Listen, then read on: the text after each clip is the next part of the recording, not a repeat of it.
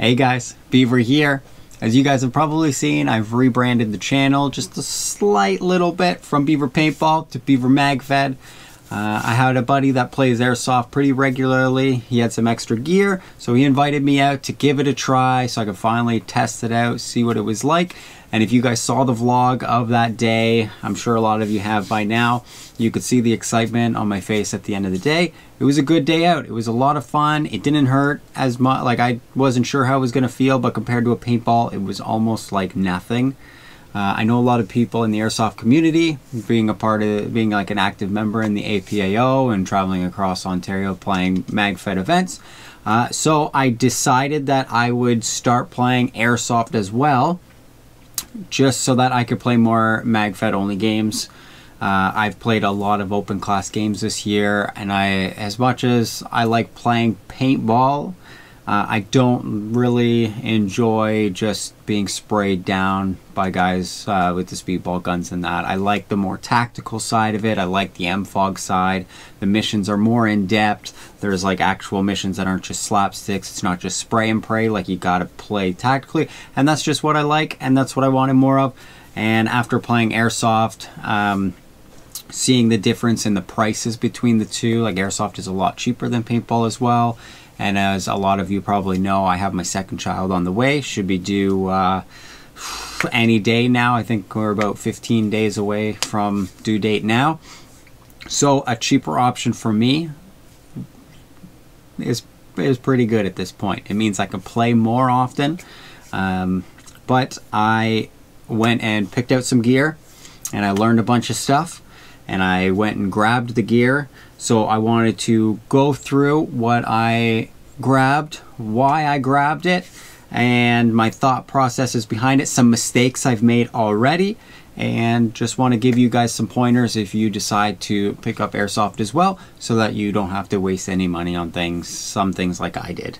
All right, first and foremost, we are gonna do the guns because I love guns.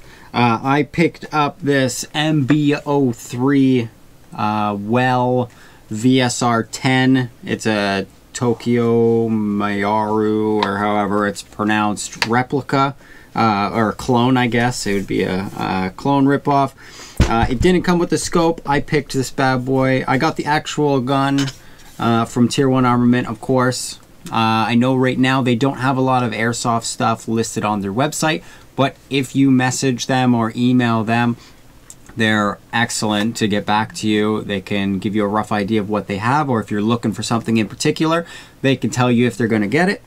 Uh, but I got the scope from Tactical Sports.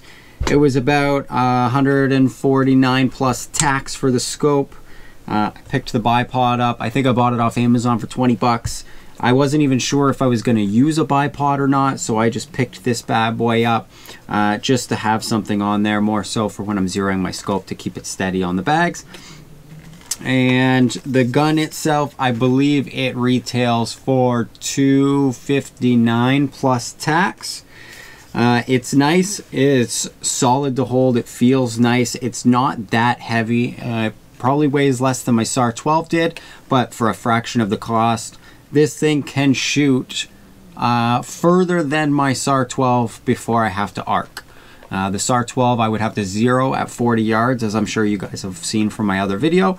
Uh, this one I will zero at 65 to 70 yards. Uh, so a lot of the maps where you used to see me, I would aim up and arc at the guy, arc the shot down. This one, I just aim right at them, point, click, boom, they get hit. Uh, it's pretty nice. I gotta paint the end so I don't get, uh, so I'm not a dead giveaway at a scenario game in the middle of the woods. You just see this orange tip and I'll get hit. But other than that, it feels nice. It's solid. It's got the little hop up on it. It's, it flies. It's, it's been cool to shoot it, to say the least. It's, I didn't realize how far BBs actually flew. So it's cool to see. Uh, for a sidearm because in most airsoft events, uh, bolt action players sometimes uh, they shoot at higher velocity. This thing shoots, I believe it shoots at 450 feet per second.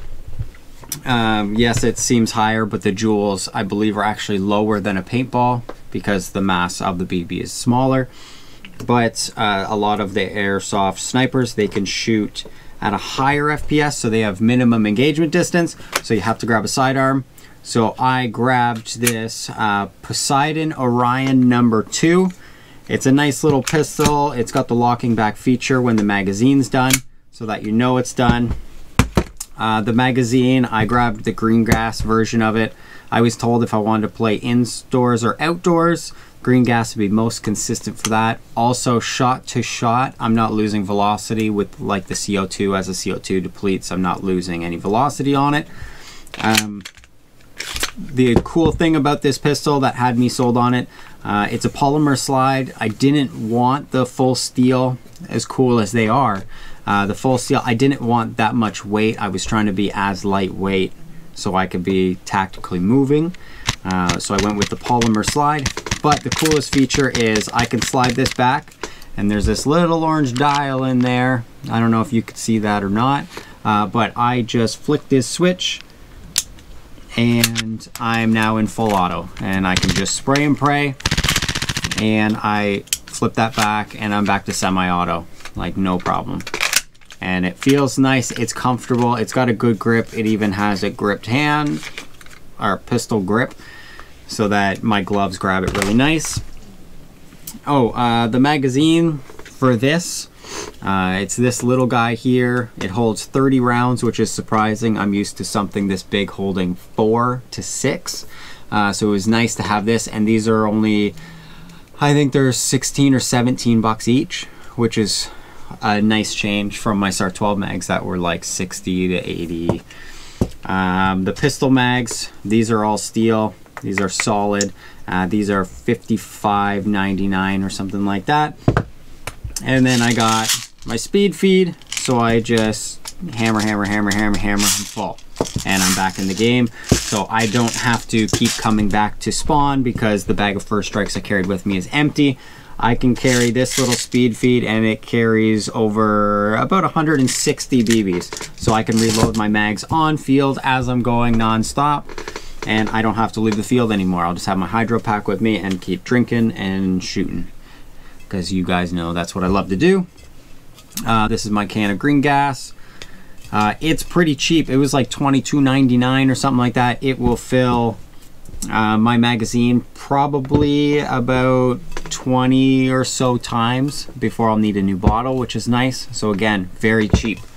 Uh, one of the biggest mistakes I made when I first bought all of this. Um, everywhere online talks about 0.20 gram BBs. So what did I do? I bought 5,000 0.20 gram BBs and actually these are only really used for like a heavy gunner that's just spraying and spraying and spraying and spraying where they don't need great accuracy. When I shoot it through this, uh, the hop up is too strong on this so even when it's off, it shoots too high and it just sends them to space. Uh, so what I did was I went and I bought a little bit heavier because I haven't upgraded the internals in this at all. I bought 0.32 grams and it shoots so straight, like unbelievably straight. And for the pistol, I upped it to 0.25. Again, shoots unbelievably straight. This also, of course, has the hop up on it, so it'll be flying, and then you'll just see it, woo, and keeps going straight. It is unbelievable.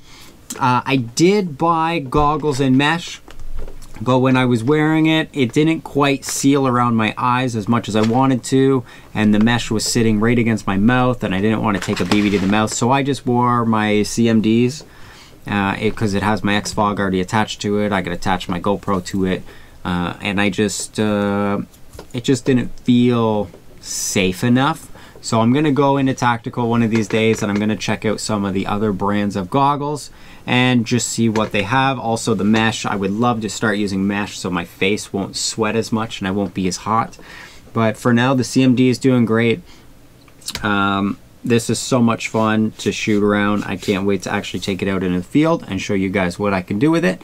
But let me jump, get all my gear on, show you how I built my loadout, what I put in it, and show you, uh, tell you exactly why.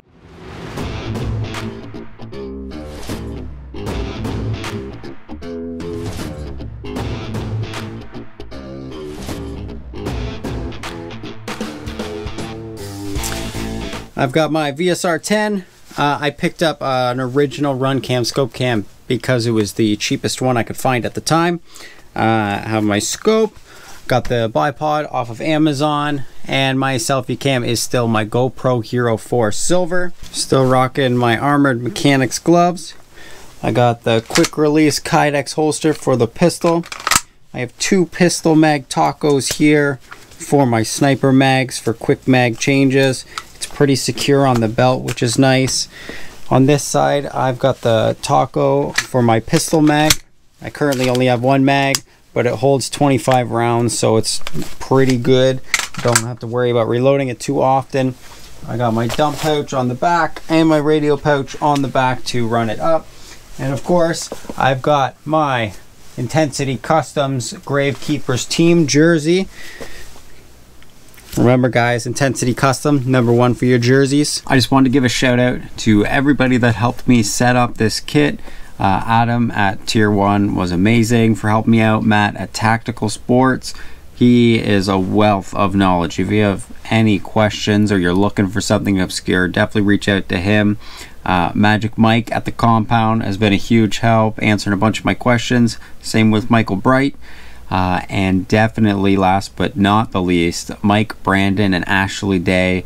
Thank you guys for answering my paragraphs and paragraphs of questions.